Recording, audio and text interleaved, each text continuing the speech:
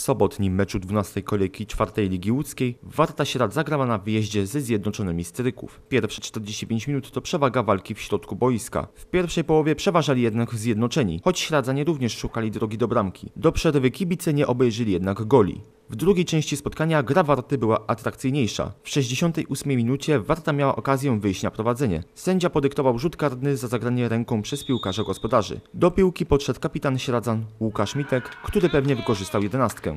20 minut później Sieradzanie ustalili wynik spotkania na 0 do 2, a to za sprawą wprowadzonego w 80 minucie Marcina Kobierskiego, który przyjął piłkę na klatkę piersiową, potem sprowadził ją na ziemię i po ziemi uderzył w lewy dolny róg bramki strzeżonej przez Huberta Polita. Do ostatniego gwizdka sędziego wynik się nie zmienił i biało-zieloni wywieźli z tego bardzo trudnego terenu 3 punkty. Po 12 spotkaniach podopieczni trenera Piotra Motawskiego z dorobkiem 26 punktów zajmują czwarte miejsce. W następnej kolejce Warta Sieradz podejmie na Sieradzkim Stadionie swoją imienniczkę z Działoszyna. Mecz odbędzie się w sobotę 10 października o godzinie 17.30.